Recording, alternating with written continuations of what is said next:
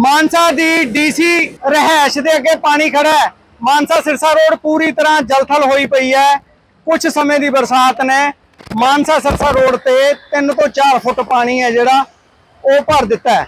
ਤਸਵੀਰਾਂ 'ਚ ਵੇਖ ਸਕਦੇ ਹੋ ਕਿ ਆਉਣ ਜਾਣ ਵਾਲੇ ਲੋਕਾਂ ਨੂੰ ਭਾਰੀ ਦਿੱਕਤ ਦਾ ਸਾਹਮਣਾ ਕਰਨਾ ਪੈ ਰਿਹਾ ਹੈ ਤੇ ਲੋਕਾਂ ਨੂੰ ਥੋੜੀ ਜੀ ਦੂਰੀ ਤੈਅ ਕਰਨ ਵਾਸਤੇ ਕਈ ਕਿਲੋਮੀਟਰ ਦਾ ਫਾਸਲਾ ਹੈ ਜਿਹੜਾ ਉਹ ਤੈਅ ਕਰਨਾ ਪਉਂਦਾ ਹੈ।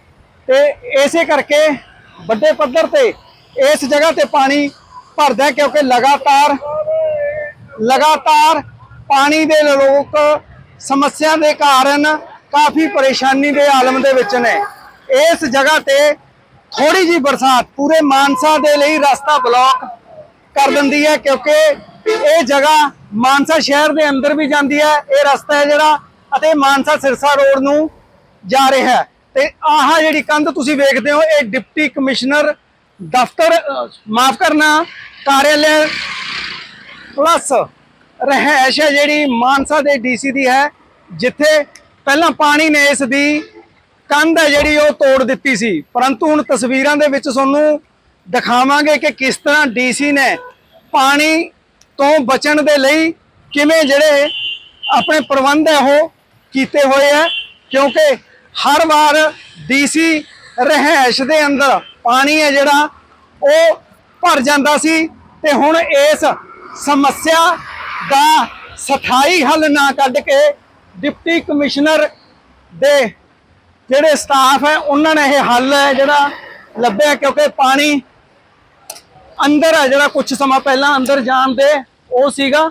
ਤੇ ਹੁਣ ਤੁਸੀਂ ਵੇਖੋ ਕਿ ਕਿਸ ਤਰ੍ਹਾਂ ਡੀਸੀ ਦੀ ਰਹਿائش ਤੇ ਪਾਣੀ ਨੂੰ ਰੋਕਣ ਦੇ ਲਈ ਪ੍ਰਬੰਧ ਹੈ ਜਿਹੜਾ ਆਰਜੀ ਕੀਤਾ ਗਿਆ, ਗੱਟੇ ਲਾਏ ਹੋਏ ਆ। ਕਿਉਂਕਿ ਤਸਵੀਰਾਂ 'ਚ ਵੇਖ ਸਕਦੇ ਹੋ ਕਿ ਇਹ ਪ੍ਰਬੰਧ ਹੈ ਜਿਹੜਾ ਕੀਤਾ ਹੋਇਆ ਤੇ ਇਸ ਕਾਰਨ ਲਗਾਤਾਰ ਥੋੜੀ ਜੀ ਬਰਸਾਤ ਹੈ ਜਿਹੜੀ, ਉਹ ਪੂਰੇ ਮਾਨਸਾ ਨੂੰ ਜਲਥਲ ਕਰ ਦਿੰਦੀ ਹੈ। ਅਧਿਕਾਰੀਆਂ ਦੇ ਰਹਿائش ਤੇ ਇਹ ਜੇ ਪ੍ਰਬੰਧ ਹੈ ਜਿਹੜੇ ਕੀਤੇ ਹੋਏ ਹੈ ਤੇ ਜਿਸ ਤੋਂ ਸਾਫ਼ ਅੰਦਾਜ਼ਾ ਲਾਇਆ ਜਾ ਸਕਦਾ ਕਿ ਪੂਰਾ ਸ਼ਹਿਰ ਜਲਥਲ ਹੋਇਆ ਪਿਆ ਹੁਣ ਇਸ ਲਈ ਕੌਣ ਜ਼ਿੰਮੇਵਾਰ ਹੈ ਕਿ ਪਾਣੀ ਦਾ ਨਿਕਾਸ ਨਹੀਂ ਹੋ ਰਿਹਾ ਮਾਨਸਾ ਦਾ ਡਿਪਟੀ ਕਮਿਸ਼ਨਰ ਜਾਂ ਫਿਰ ਇੱਥੋਂ ਦੀ ਨਗਰ ਕੌਂਸਲ ਆਪਣੀ ਜ਼ਿੰਮੇਵਾਰੀ ਤੈਅ ਕਰੇ ਤਾਂ ਕਿ ਹਰ ਸਾਲ ਲੋਕਾਂ ਨੂੰ ਅਜਿਹੀ ਸਮੱਸਿਆ ਦਾ ਹੱਲ ਜਿਹੜਾ ਸਾਹਮਣਾ ਨਾ ਕਰਨਾ ਪਵੇ।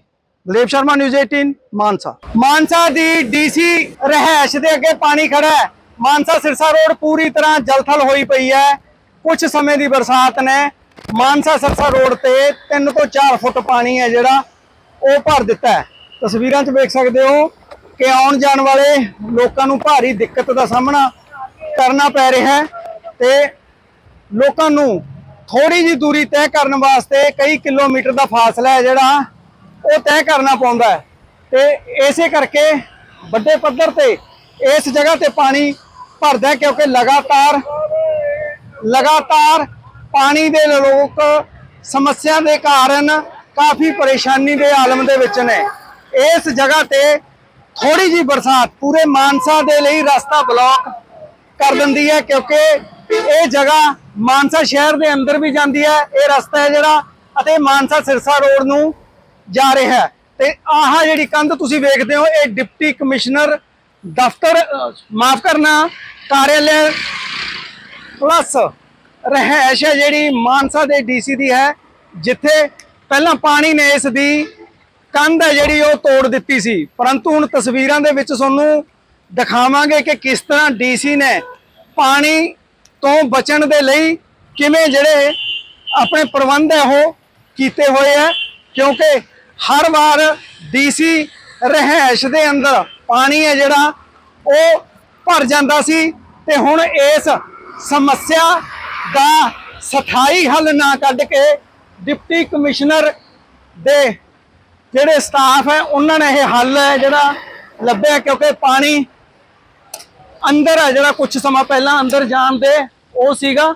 ਤੇ ਹੁਣ ਤੁਸੀਂ ਵੇਖੋ ਕਿ ਕਿਸ ਤਰ੍ਹਾਂ ਡੀਸ਼ੀ ਦੀ ਰਹਿਸ ਤੇ ਪਾਣੀ ਨੂੰ ਰੋਕਣ ਦੇ ਲਈ ਪ੍ਰਬੰਧ ਹੈ ਜਿਹੜਾ ਆਰਜੀ ਕੀਤਾ ਗਿਆ, ਗੱਟੇ ਲਾਏ ਹੋਏ ਆ। ਕਿਉਂਕਿ ਤਸਵੀਰਾਂ 'ਚ ਵੇਖ ਸਕਦੇ ਹੋ ਕਿ ਇਹ ਪ੍ਰਬੰਧ ਹੈ ਜਿਹੜਾ ਕੀਤਾ ਹੋਇਆ ਤੇ ਇਸ ਕਾਰਨ ਲਗਾਤਾਰ ਥੋੜੀ ਜੀ ਬਰਸਾਤ ਹੈ ਜਿਹੜੀ ਉਹ ਪੂਰੇ ਮਾਨਸਾ ਨੂੰ ਜਲਥਲ ਕਰ ਦਿੰਦੀ ਹੈ। ਅਧਿਕਾਰੀਆਂ ਦੇ ਰਹਿائش ਤੇ ਇਹ ਜੇ ਪ੍ਰਬੰਧ ਹੈ ਜਿਹੜੇ ਕੀਤੇ ਹੋਏ ਹੈ ਤੇ ਜਿਸ ਤੋਂ ਸਾਫ਼ ਅੰਦਾਜ਼ਾ ਲਾਇਆ ਜਾ ਸਕਦਾ ਕਿ ਪੂਰਾ ਸ਼ਹਿਰ ਜਲਥਲ ਹੋਇਆ ਪਿਆ ਹੁਣ ਇਸ ਲਈ ਕੌਣ ਜ਼ਿੰਮੇਵਾਰ ਹੈ ਕਿ ਪਾਣੀ ਦਾ ਨਿਕਾਸ ਨਹੀਂ ਹੋ ਰਿਹਾ? ਮਾਨਸਾ ਦਾ ਡਿਪਟੀ ਕਮਿਸ਼ਨਰ ਜਾਂ ਫਿਰ ਇੱਥੋਂ ਦੀ ਨਗਰ ਕੌਂਸਲ ਆਪਣੀ ਜ਼ਿੰਮੇਵਾਰੀ ਤੈਅ ਕਰੇ ਤਾਂ ਕਿ ਹਰ ਸਾਲ ਲੋਕਾਂ ਨੂੰ ਅਜਿਹੀ ਸਮੱਸਿਆ ਦਾ ਹੱਲ ਜਿਹੜਾ ਸਾਹਮਣਾ ਨਾ ਕਰਨਾ ਪਵੇ।